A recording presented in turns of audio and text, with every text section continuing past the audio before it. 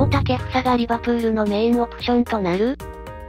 久保建英は、エジプト代表フォワードモハメド・サラーの後継者としてイングランド一部リバプールが獲得に動くと噂されている。リバプールのアルネス・ロット監督はサラーを失うことが大きな痛手となることを理解しているが、久保のようなクオリティのある選手を獲得することでその穴を埋められると信じている。まだ23歳でさらなる伸びしろも残す久保にリバプールは大きな魅力を感じているという。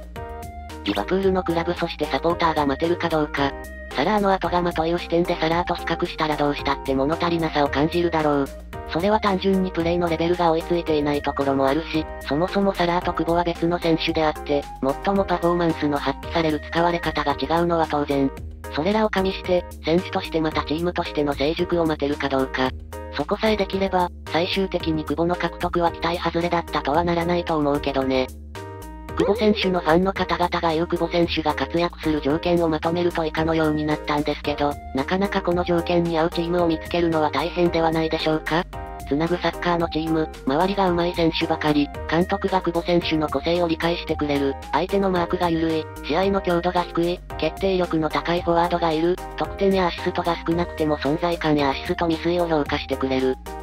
有識者です。本当のリバプールへの移籍はないと考えられます。理由はサラーがいるからです。サラー自身も契約更新を望んでおり、その場合はさらに移籍の可能性は低くなるでしょう。現在のチーム事情はお世辞にもいいと言えませんが、活躍する選手はどこのチームで結果を残すもの。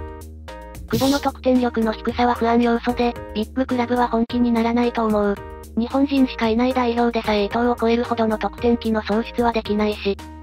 これは嘘待つ。サラーと契約延長を目指すと報じていたばかりだよ。サラーの抜けた後に久保じゃ、さすがに数段レベル落ちるし、そもそも代わりなんて無理。リバプールファンで久保を取ってほしいと思ってる人などいないからね。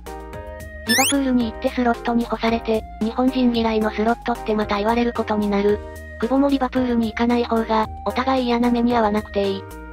サラーの後継者と考えるならまずは2桁ゴールとアシストを数シーズン達成しないと話にもならないと思うが、ストニチみたいに妄想で記事書いてるのかな